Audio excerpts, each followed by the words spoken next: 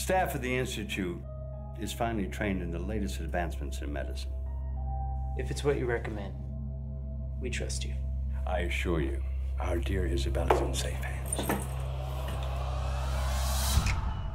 At the Rosewood Institute, we cater to the best families. Did he send you? I'm sorry. Isabel. I apologize for the uh, unorthodox introduction. I'm Dr. Cairn. Please describe your affliction. I'm told that my flight's a fancy. You're not becoming of a lady. I just want. You just want to be free. Exactly. I can give you the freedom you desire, but you will need to trust my methods. Unorthodox though they may seem. We'll start with the most primitive of feelings pain.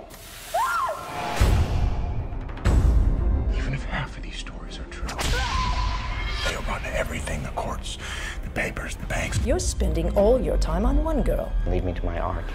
This is still part of my treatment. Yes, exactly. You do trust me, don't you, Isabel? Evil must be thy only happiness.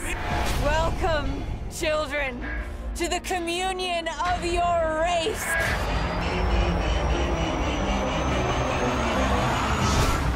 Tell me of this Isabel Porter. I hope to forget I was ever such a vapid creature.